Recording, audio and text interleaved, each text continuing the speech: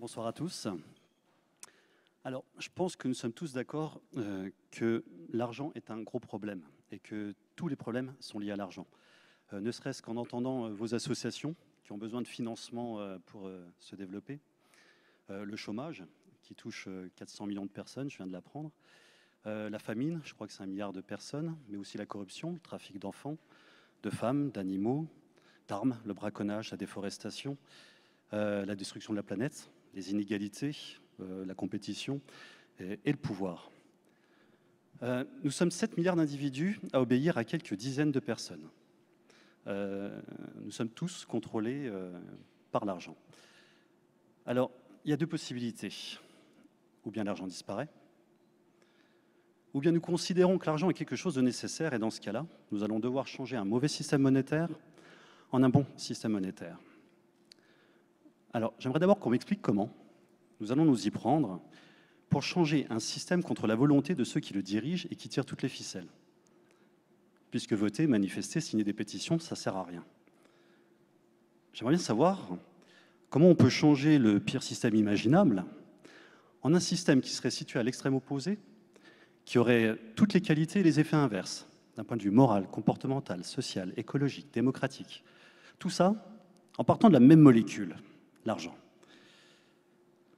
Est-ce que vous pensez qu'il existe un bon système monétaire? Un système monétaire où nous serions libres et égaux, pour commencer.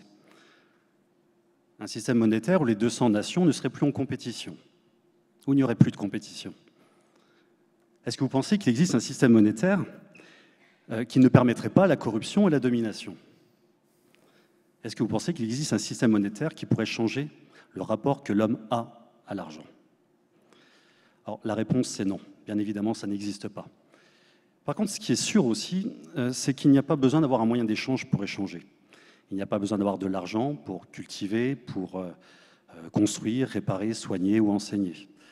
Il n'y a pas besoin d'avoir de l'argent pour trouver une organisation qui soit juste, sensée et efficace. Et il n'y a pas non plus besoin d'avoir de l'argent pour nous motiver tous à travailler ensemble. Car être utile aux autres, c'est un des besoins les plus fondamentaux de l'homme.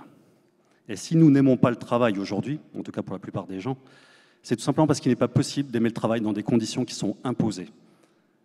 D'autant plus des conditions pareilles. En plus, dans un monde où l'argent n'existe pas, où il n'est donc pas possible de payer pour obtenir, il est dans l'intérêt de chacun de participer à la vie active à niveau égal des autres. Alors, le projet Mosica, c'est trois étapes. La première, c'est le rassemblement, qui se fait sur le site mosica.org à la rubrique Adhérer.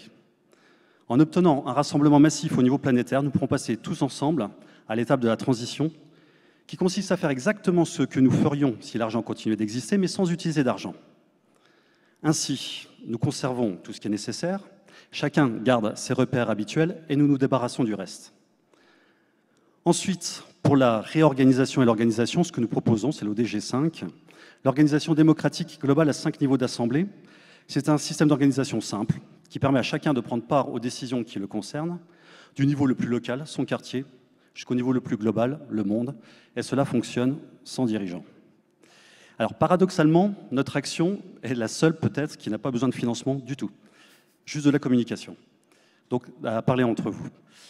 Euh, la disparition de l'argent, c'est la prochaine étape de l'humanité. Euh, je ne pense pas que ce soit une option. Alors, on peut ne pas être d'accord avec cette idée-là, mais dans ce cas-là, Posez-vous ces trois questions-là si vous imaginez le monde de demain avec un autre système monétaire. D'abord, comment allons-nous le mettre en place? Deuxièmement, êtes-vous certain qu'il nous écartera des dangers et des dérives que seul l'argent peut créer?